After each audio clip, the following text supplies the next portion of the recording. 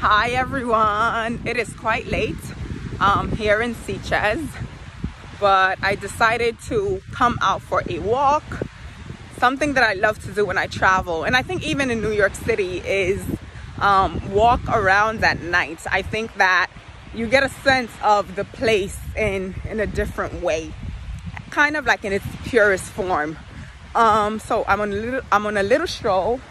There's no one around. I've come across maybe like three or four people, which might sound a bit daunting and scary. There's someone behind me somewhere there.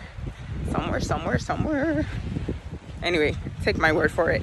Um, and I'm loving this. Just walking, clearing my head, all of that. But I'm going to stop for now and let you know that the time has come. MBP Accessories finally has waist beads. I can't wait to see what you guys think and I will see you soon.